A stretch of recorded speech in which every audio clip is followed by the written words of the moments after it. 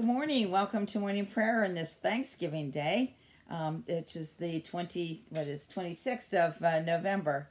I'm so glad you're able to join Tom and I.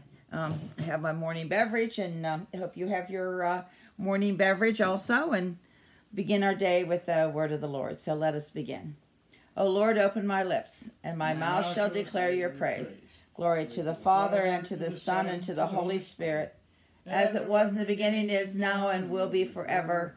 Amen. Give glory to God, our light and our life. O come, let us worship him.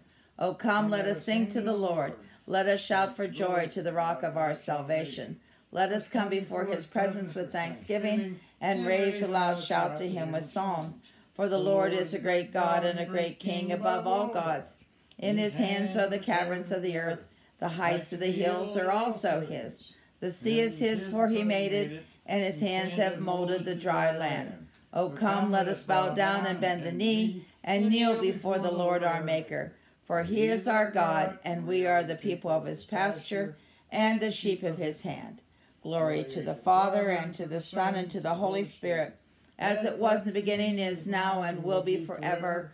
Amen. Give glory to God, our light and our life. Oh, oh, o come, let us worship him. Our psalm today is the second half of Psalm 140, uh, 147. For he has strengthened the bars of your gates, he has blessed your children within you. He has established peace on your borders, and he satisfies you with the finest wheat. He sends out his command to the earth, and his words run very swiftly.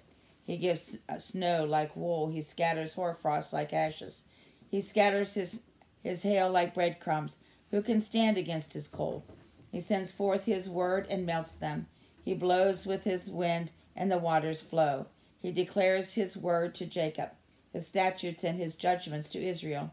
He has not done so to any other nation. To them he has not revealed his judgments. Hallelujah. Let us pray. God our Father, great builder of the heavenly Jerusalem, you know the number of the stars and call each of them by name.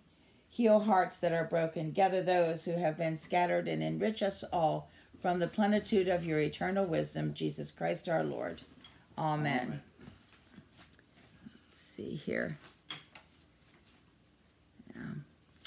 All right, our reading today, our first reading, uh, put that over there, comes from Joel in the second chapter, beginning uh, with verse 21. Fear not, O land, be glad and rejoice, for the Lord has done great things. Fear not, you beasts of the field, for the pasture, pastures in the wilderness are green, the tree bears its fruits, and the fig tree and vine gives their full yield.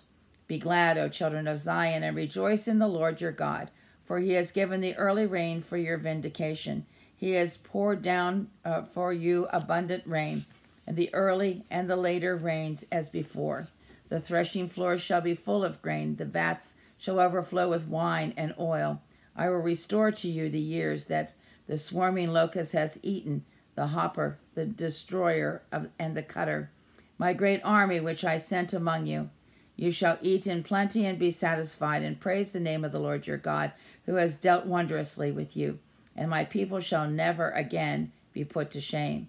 You shall know that I am in the midst of Israel and that I am the Lord your God, and there is none else. And my people shall never again be put to shame. The word of the Lord. Thanks, Thanks be to God. And our second reading comes from Thessalonians, uh, the fifth chapter. Let's see here. Uh, uh, beginning with verse 12.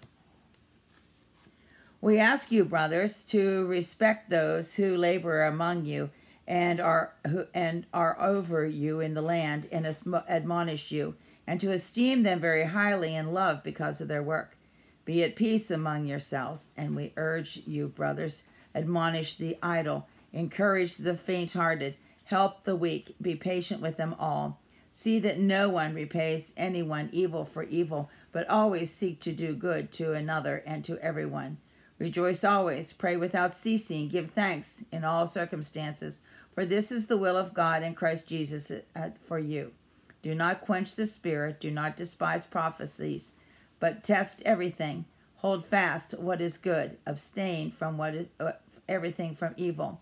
Now may the God of peace himself sanctify you completely, and may your whole spirit and soul, um, oh, soul, as soon as I can turn the page, uh, and soul and body be kept blameless at the coming of our Lord Jesus Christ. He who calls you is faithful and will surely uh, do it.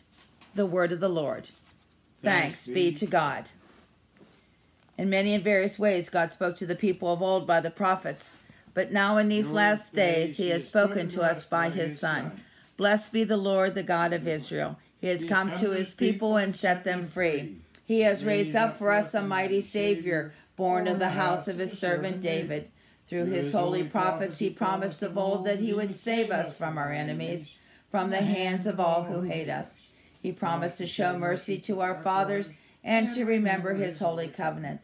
This was the oath he swore to our father Abraham to set us free from the hands of our enemies, free to worship him without fear, holy and righteous in his sight all the days of our lives. You, my child, shall be called the prophet of the Most High, for you will go before the Lord to prepare his way, to give his people knowledge of salvation by the forgiveness of their sins. In the tender compassion of our God, the dawn from on high shall break upon us, to shine on those who dwell in darkness and the shadow of death, and to guide our feet into the way of peace. Glory, Glory to the Father, and to the Son, and to the Holy Spirit, as it was in the beginning, is now, and will be forever. Amen. Let us pray. Almighty and gracious Father, we give you thanks for the fruits of the earth in the season and for the labors of those who harvest them. Make us, we pray, faithful stewards of your great bounty for the provision of, of our necessities and the relief of all who are in need. To the glory of your name, through Jesus Christ our Lord, who lives and reigns with you in the Holy Spirit, one God, now and forever. Amen. Amen. O Lord Almighty and everlasting God, you have brought us in safety to this new day. Preserve us with your mighty power, that we might not fall into sin nor be overcome in adversity. And in all that we do, direct us to the fulfilling of your purpose through Jesus Christ our Lord. Amen. Amen. Lord, remember us in your kingdom and teach us to pray. Our Father, who art in heaven, hallowed be thy name. Thy kingdom come, thy will be done on earth as it is in heaven. Give us this day our daily bread, and forgive us our trespasses as we forgive those who trespass against us. And lead us not into temptation, but deliver us from evil. For thine is the kingdom, and the power, and the glory forever and ever. Amen. Let us bless the Lord. Thanks be to God. The Lord Almighty bless us and direct our days and our deeds in his peace. Amen. Amen.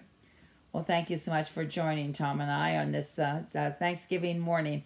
And I hope you have a great and blessed Thanksgiving day.